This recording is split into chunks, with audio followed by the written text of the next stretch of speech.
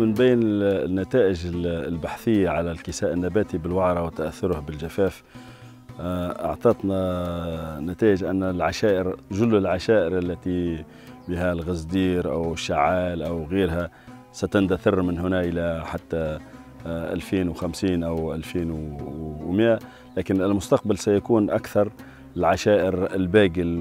والصبط اللي هي تعتبر مقاومة للجفاف. وقت تشوفوا هناك شجرة الباقل هذه رغم الرعي الجائر ورغم الجفاف إلا وتلاحظوا لهنا كما تشوفوا أن النباتات القاعدة ثم معناها آه، تطور في في المنبوت. أما آه، أما نبات الصبط فتأثر كثيرا بالرعي وبالسنوات الجفاف.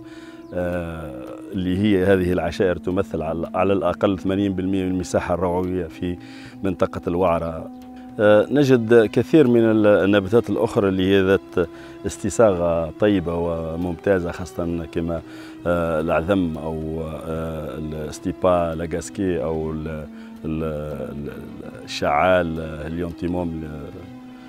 كاهريكوما وعديد النباتات الأخرى اللي تكاد تكون غير موجودة واندثرت تماما من مناطق الرعوية بالوعرة